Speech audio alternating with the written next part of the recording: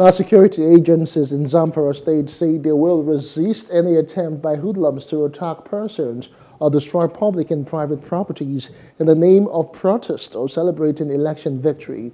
They say troops have been deployed to strategic areas and parents are advised to call their children and wards to other as no one caught will be spared.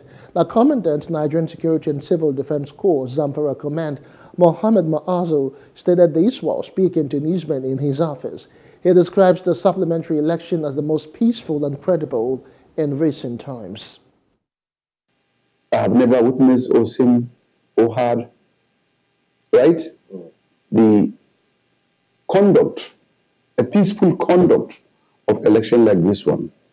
The way the, you know, talks reacted, reacted by going about looting public properties, private properties, which is which was uncalled for.